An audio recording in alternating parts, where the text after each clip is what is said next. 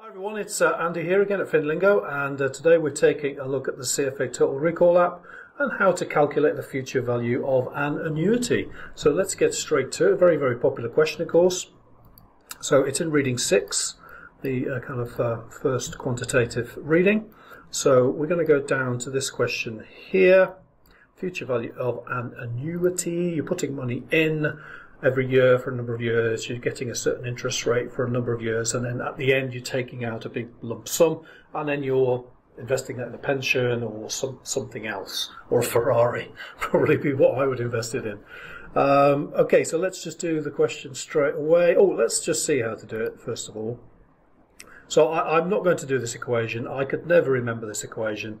I never ever used it. I never felt a need to learn it or to use it. Uh, so it just it's just too easy to get wrong, and it's hard to remember with all the other hundreds of equations. I think it's much easier to just use the calculator method. So let's do that method, the calculator method. So we have 19,000 per annum and that's going to be for the next 22 years. We're going to put 19,000 in a year for 22 years and we're going to earn 3% for those 22 years, we hope. Anyway, let's, uh, let's assume that that is accurate. So first of all, second, clear work, the number of years is 22. There we go. The interest rate is 3%. There you go. Um, the PV, you're not putting anything in at the moment. You're not putting in a lump sum, but you are going to be paying in 19,000 per annum and that's going to be your payment. And so your future value is going to be minus, it, it, you pick a direction, um, you payment in, future value out, or payment out, future value in. Pick a direction, it will work.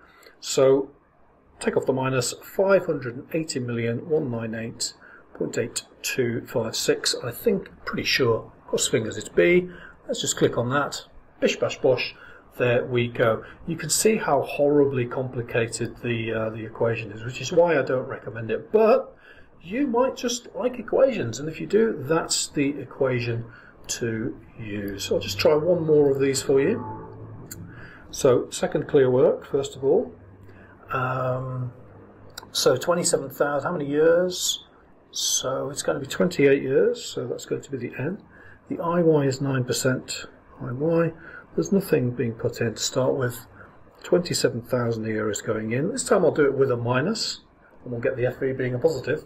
We'll put that in as a payment that's leaving our pocket, and we'll do compute FV. This will be a plus. 3,050,000, 141,857. It's got to be B. Cross fingers, always. Bish bash bush. There we go. And again, another horrible equation.